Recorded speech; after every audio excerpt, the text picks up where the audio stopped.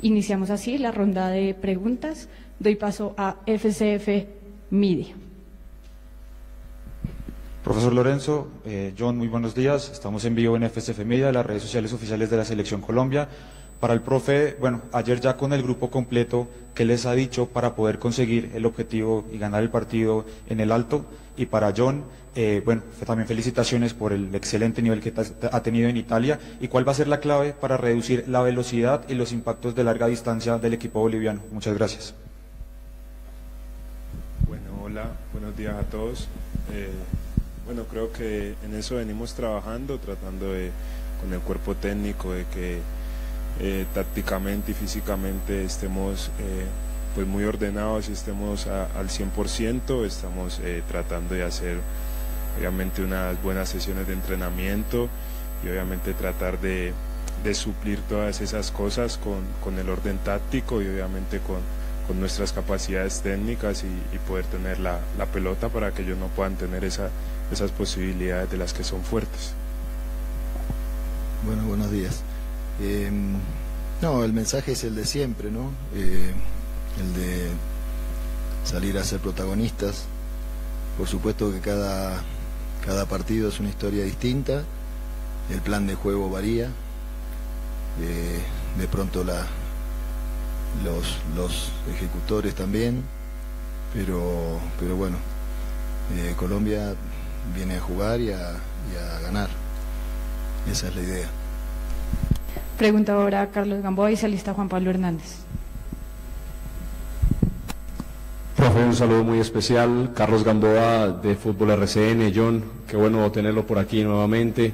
Eh, para el profe, ¿qué tanto cree que va a cambiar el sello de la selección Colombia en un partido con, con esta clase de condiciones? Y para John Hanner, ustedes en la defensa han variado a lo largo de toda la eliminatoria. A veces ha estado usted, a veces no, Davinson, eh, en un momento llegó a estar Gerson.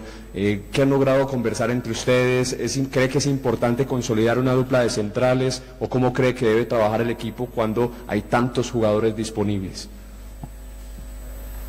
Bueno, creo que tú lo has dicho y eso es lo mejor que tenemos acá. Creo que la, las variantes que tenemos y obviamente que todos nos hemos acoplado de la mejor manera a, las órdenes que, el cuerpo técnico nos ha dado. Creo que lo que hemos hablado es que debemos de estar atentos, tratar de estar cortos eh, y aprovechar eso, de que todos tenemos la misma información, todos venimos trabajando de la misma manera y el que los 11 que el profe elija iniciar mañana debemos estar muy concentrados y hacer todo para que el partido obviamente esté a nuestro favor y podamos sacar un gran resultado.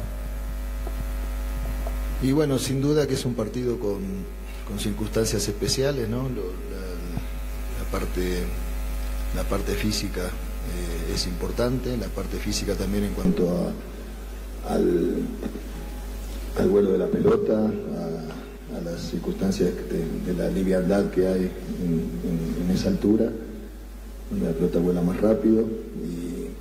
Y, todo eso lo hemos tratado de ir adaptado, adaptando en, esta semana de trabajo, con, lo que hemos podido.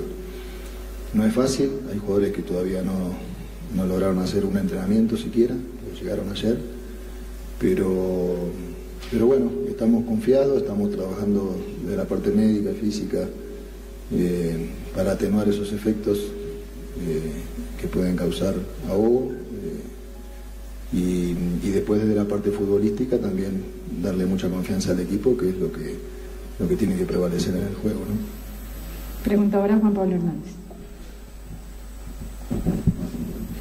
Profe, buenos días, eh, John. Eh, buenos días. Se ha hablado mucho pues de la preparación, uno, dos, de la preparación de lo que será el partido desde ese punto de vista. Pero ustedes cómo han asimilado, en el caso suyo, profe, todo lo que se ha jugado alrededor.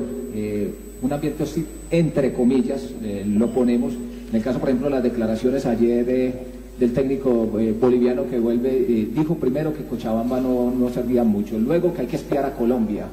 Eh, todos los, los, jugadores que se habían tenido en cuenta para hacer el sparring se los quitaron al seleccionado colombiano. Todos estos efectos, ¿cómo los asimilan ustedes que no ha pasado? Pues desde que yo estoy al lado de la selección nunca lo había visto.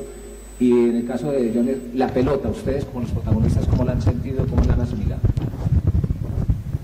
Bueno, creo que como el profe lo comentaba ahora, es un, es un vuelo diferente, creo que al, momento de picar la pelota a veces no, es de la misma forma que, en otros lugares o como venimos acostumbrados, pero venimos trabajando estos días en eso, en tratar de, de afianzar esa, esa sensibilidad y poder buscar obviamente el mejor posicionamiento para poder... Eh, digamos, tener eh, esos balones claros y, no tener dificultades en el partido. Creo que ya igual poco a poco cuando inicie el, encuentro, obviamente interactuando, teniendo más confianza y con la calidad técnica que tenemos, creo que, que pensamos que, no vamos a tener problemas.